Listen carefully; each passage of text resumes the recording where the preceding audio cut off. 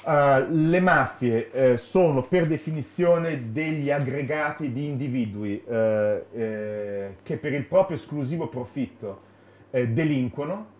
e dissanguano il tessuto civico in cui si trovano. Certamente questa è la definizione che si può appioppare alle mafie regionali, che vanno, ripeto, combattute, ma è ancor più, come abbiamo visto da questi dati, la definizione che va appioppata alla grande mafia, e dei doppio petto blu delle banche, eh, della, della, Banca d'Italia e eh, del sistema finanziario eh, internazionale. Eh, ripeto, la differenza però è che su, nel caso della Camorra, dell'Andrangheta o della mafia, almeno i nostri magistrati hanno almeno uno strumento per combatterle, almeno la nostra polizia ha uno strumento per combattere, cioè la loro illegalità. Nel caso di questa maggiore mafia di cui ho parlato fino adesso, non abbiamo nessuno strumento per andargli contro.